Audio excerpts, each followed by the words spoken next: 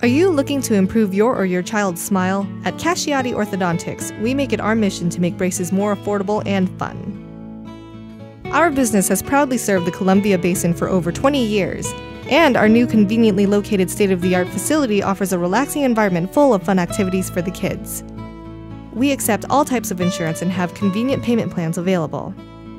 Give us a call for a complimentary evaluation, no referral needed, or check us out on the web and make an appointment online. Our spotlight story tonight is about why the Ephrata gym was rocking to people jumping. Here with the story is Jeff Chu.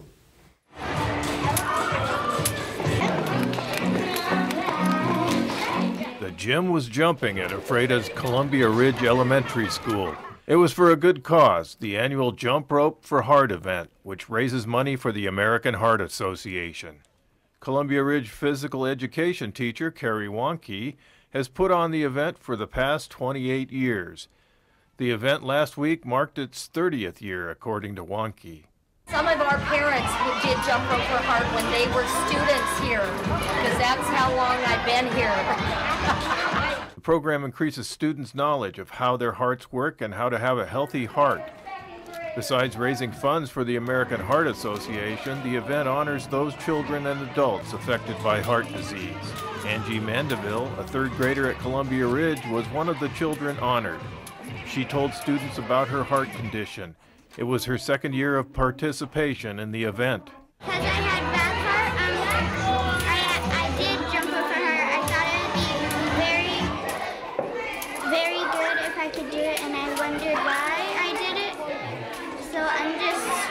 just raising money for kids that have other heart, that has a heart like mine. Shaylee Lewis, fourth grader at Columbia Ridge, said she loves to jump rope and has done so since first grade.